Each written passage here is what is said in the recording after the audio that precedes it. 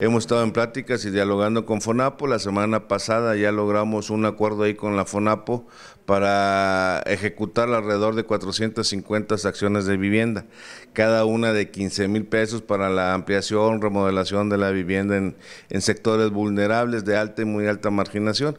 Ahorita estamos en la tarea de capturar ese padrón para mandarlo a México y que lo valide y una vez validado este, se le asignen los recursos que ya están acordados. De hecho, nosotros no vamos a batallar porque tenemos ya ese monto de 7 millones, 7 millones y medio para ejecutarlos a mediados de agosto.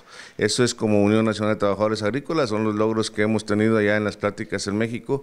Y esto ya, te digo, pues esto el 15 de agosto, a finales de agosto estaríamos entregando el material de, de estas acciones de vivienda rural. Tenemos de sobre demanda, ¿no? La gente acudió con nosotros, tenemos alrededor de 1.000, 1.500 acciones de vivienda. Con la cámara de Roberto Fuentes para RCG informó Eduardo Sarabia.